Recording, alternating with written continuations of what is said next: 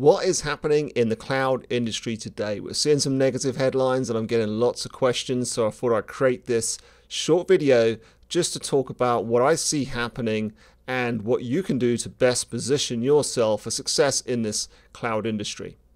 So, of course, we've just seen the largest layoff in AWS's history with 9,000 jobs across Amazon, including their AWS division as well. So, what does that mean? Well, firstly, of course, we all know that during the pandemic, lots of the large tech companies hired a lot of people. They saw some tremendous growth, and that can't continue really at that rate forever.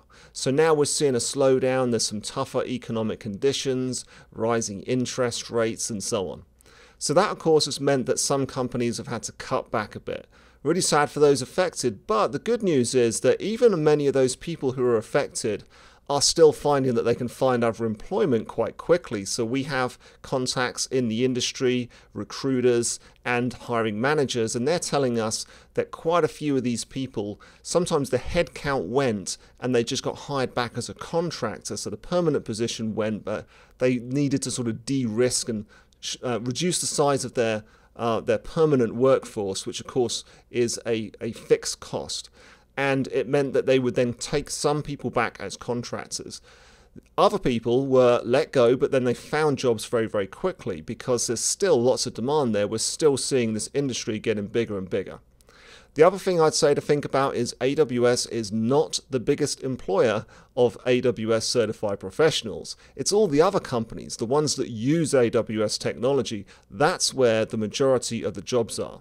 And many of those companies are still hiring today. Many of them are still growing. And of course, many companies are still moving to the cloud.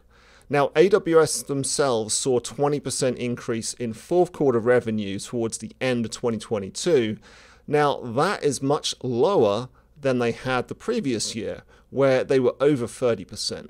But we're talking about a huge company here, big companies that are doing hundreds of billions of dollars when they're growing at 20% per year, that is really impressive for any company of that size.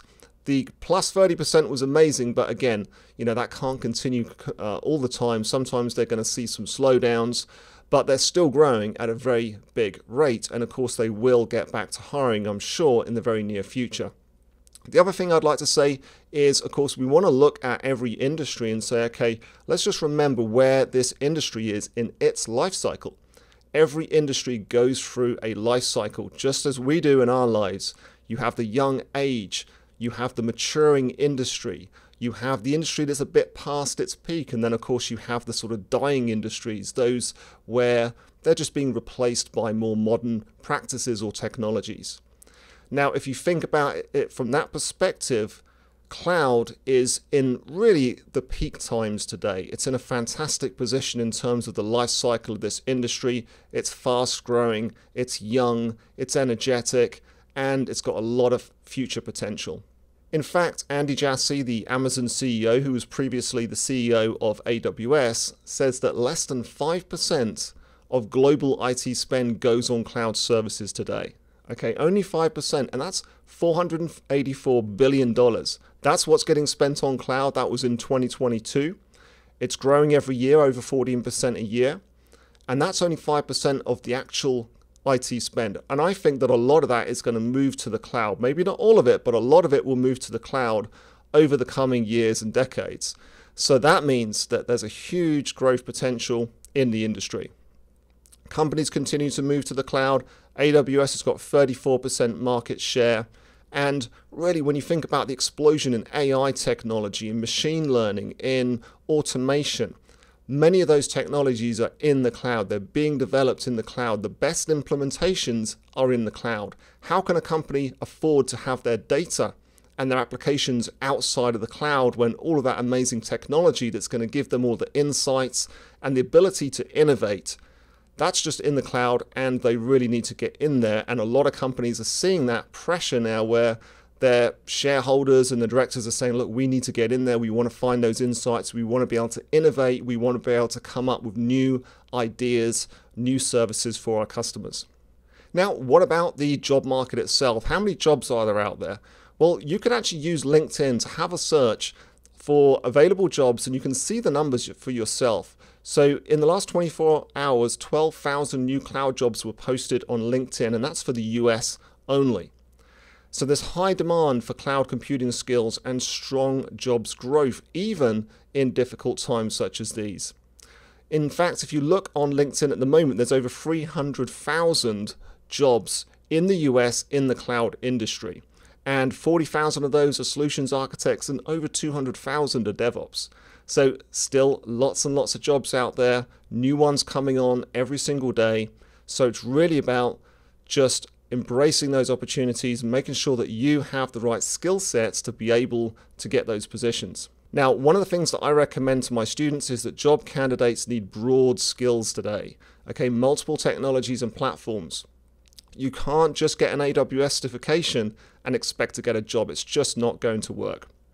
Now, certifications are super important. So I'd say they're a prerequisite. You do need to get certified, but you need to have experience. You need to be able to demonstrate that experience to employers as well. So, how are you going to do that? Build a portfolio, build applications, build things that you can showcase. And that doesn't mean showing people live applications. Usually, it actually means documenting and being able to prove through some kind of documentation like articles and blogs and GitHub repositories and more, and videos as well, of course. That's another way of doing it, where you can then demonstrate to employers what you've done and also the process that you went through to get there, the decisions that you made and why you made them, the mistakes that you made and how you learned from those experiences. This is what employers want to see. So, what is my recommended training approach? Firstly, from an AWS perspective, do get at least one of the associate certifications, I recommend getting all three. I think that's much better. It will give you a broader understanding.